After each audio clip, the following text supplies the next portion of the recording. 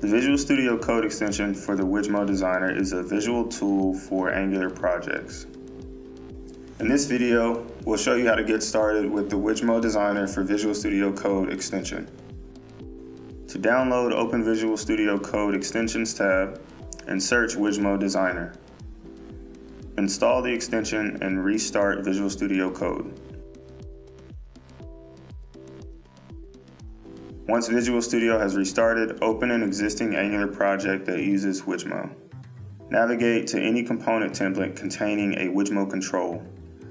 Above every Wijmo tag, there will appear a Code Lens link. Clicking on this link will open the Wijmo Designer in a new tab. Here you can modify properties and apply themes to the controls. The changes made in the preview pane will persist when navigating to other tabs. I'm going to set the allow dragging property to none to disable dragging of columns or rows. And I will remove the row headers by setting the headers visibility property to column.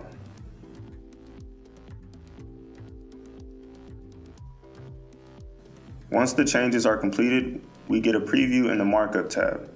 If everything looks okay here, click the save button and the original HTML template will be updated.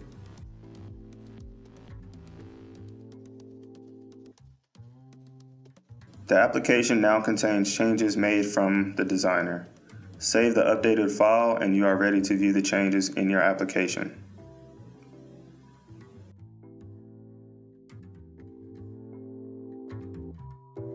For more video demos, tutorials, technology, and industry news articles, be sure to check out our blog.